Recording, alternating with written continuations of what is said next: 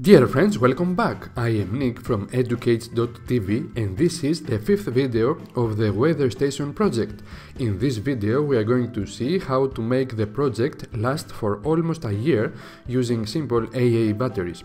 Without any further delay, let's get started. About a year ago, I developed this weather station project which displays temperature, humidity and barometric pressure on a Nokia 5110 LCD display.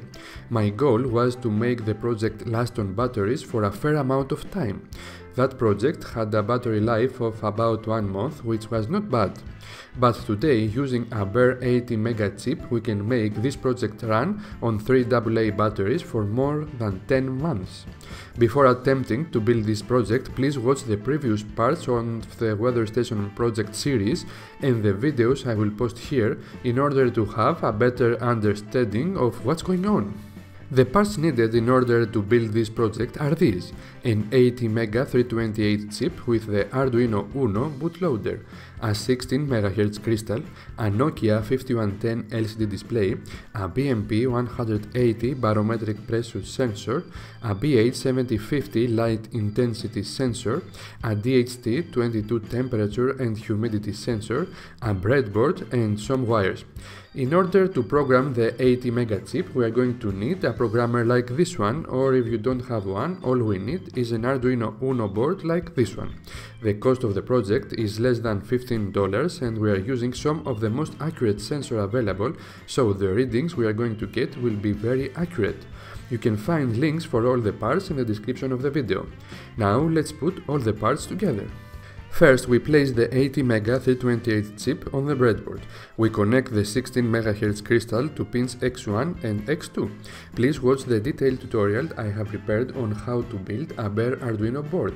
You may also need to connect two 22 picofarad capacitors, but in my case it is not needed due to the breadboard's capacitance. Then we place all the parts on the breadboard. The top rail of the breadboard is going to be the power rail. So at first I connect all the power pins from all modules to the breadboard positive rail. Next we connect all the grounds to the breadboard ground rail. The BMP 180 and the BH1750 modules use the I2C protocol in order to communicate with Arduino. For that reason I will make the bottom power rail of the breadboard to be the I2C bus. From this bus, all I2C modules we use will communicate with Arduino. So, from each I2C module, I connect the SDA pin to the top row of the power rail and the SCL pin of each module to the bottom row. Now, all we have to do is to actually make it an I2C bus by connecting it to the ATMEGA I2C pins. The top row, SDA, goes to analog pin 4 and the SCL row goes to analog pin 5 on the ATMEGA chip. Next we connect the DHT22 sensor. We only need to connect the middle pin to digital pin 4 of the ATMEGA chip. Next we connect the Nokia 5110 LCD display to the ATMEGA chip. We connect the first 5 pins of the display to digital pins from 13 to 9.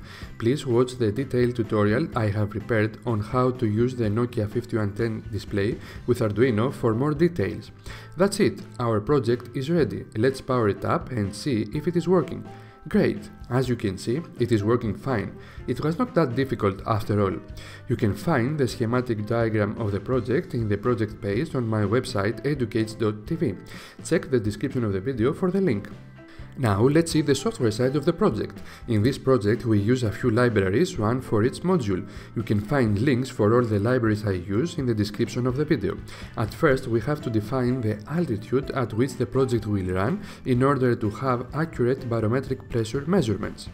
The code is simple. In every loop of the program, the first thing we do is to read the light intensity of the environment using the BH1750 sensor. The sensor gives us the light intensity in lux. If the light intensity is less than 30 lux, we disable the LCD display in order to conserve power and we sleep for 2 minutes. If the light intensity is more than 30 lux, we enable the LCD display, we read the values from the sensor, we update the display and we go to sleep for 2 minutes. The sleep function uses the low power library, which, which greatly reduces the power consumption of the ATMEGA chip. After we wake up, the loop starts over again. As always, you can find the code of the project in a link in the description of the video. Next, we upload the code to Arduino. I am using an old Arduino board in order to make things easier. I program the Arduino Uno and then I remove the ATMEGA chip and I place it on the breadboard. Now let's measure the power consumption of the project. As you can see, when the display is on and the ATMEGA is sleeping, the current draw is 0.41 mA. When the ATMEGA wakes up every 2 minutes, reach the sensors, the current draw rises to 8 mA for half a second before we go back to sleep.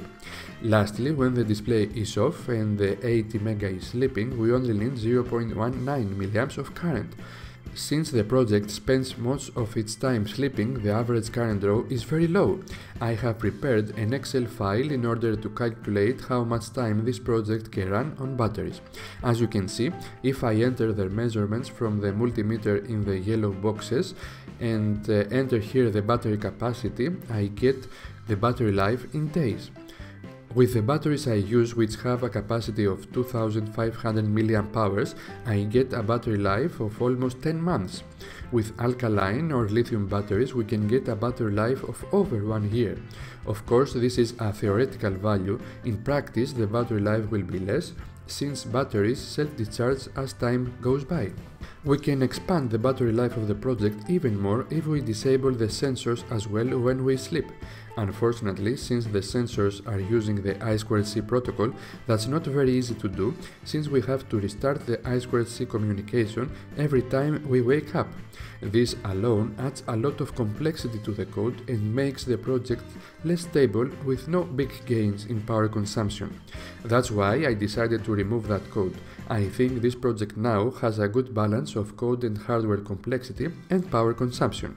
The next step for this low power weather station project is going to be the addition of one or two buttons to it in order to be able to display graphs, set different display modes and much more.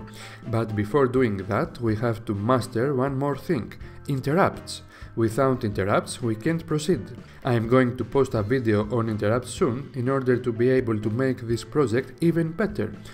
What do you think about this project and what kind of additions do you want to implement to it? Please post your comments or ideas in the comment section below. Thanks! If this is your first time here, I would love to have you subscribed. In this channel I post videos about do-it-yourself projects every Saturday. I build projects with Arduino, Raspberry Pi, I build robots and simple electronic circuits. I love making things and helping people doing the same. I hope that you will join our community. Until next Saturday, watch, learn, build.